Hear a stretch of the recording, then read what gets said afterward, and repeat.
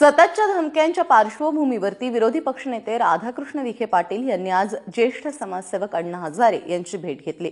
अण्णांच्या राळेगणमधील निवासस्थानी ही भेट झाली आणि यावेळी अण्णा आणि विखे पाटील यांच्यामध्ये सुरक्षेसंदर्भात चर्चा झाली आहे.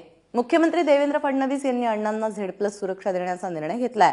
मात्र अण्णांनी झेड प्लस सुरक्षा घेण्यास नकार दिल्याने विखे पाटलांनी त्यांची मनधरणी केली आणि त्यानंतर अण्णांनी पूर्वीची झेड प्लस पूर्वीची झेड आणि आताची झेड प्लस सुरक्षा या दरम्यानची सुरक्षा स्वीकारण्यास मान्यता दिलेली आहे. त्यामुळे आता अण्णांच्या सुरक्षा ताफ्यामध्ये वाढ होणार हे निश्चित.